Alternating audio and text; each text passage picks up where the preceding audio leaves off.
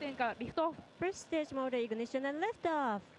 惑星分光観測衛星スプリント A を搭載したイプシロンロケット試験機は平成25年9月14日14時00分00秒に内之浦宇宙空間観測所から打ち上げられました The Epsilon 1 lifted off at 2 p.m. on September 14, 2013, Japan Standard Time from the Uchinola Space Center with the Sprint A on board. イプシロンロケット試験機は現在初期飛行方位角を112度とし徐々に東方向の太平洋上へ飛行しています The Epsilon 1 is now flying over the Pacific Ocean to the east with its initial flight angle of 112 degrees.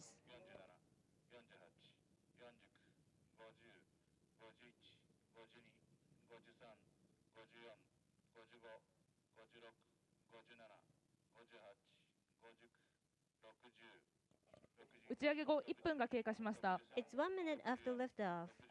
ロケットは正常に飛行を続けており各地上局は正常にロケットの追尾を行っております The Epsilon 1 is flying normally, and the ground stations are tracking the launch vehicle very well.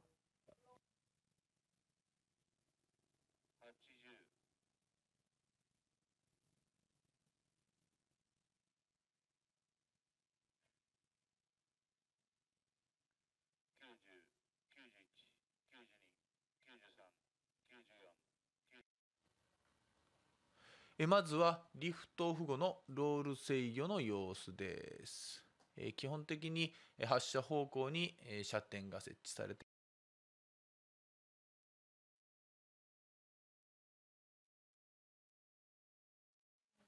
はい、えーフェアリング分離の今は様子ですね。衛星の向こうに今パカッとできているのが見れます。奥に宇宙が